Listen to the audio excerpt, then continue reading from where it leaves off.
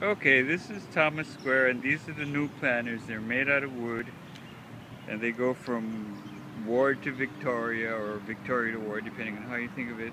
We're right at the middle here, where there was a opening. They haven't left an opening at all.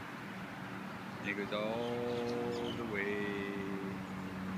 to Victoria Street. Really strange, man, but I'm just wanted to bring a picture of it video of it.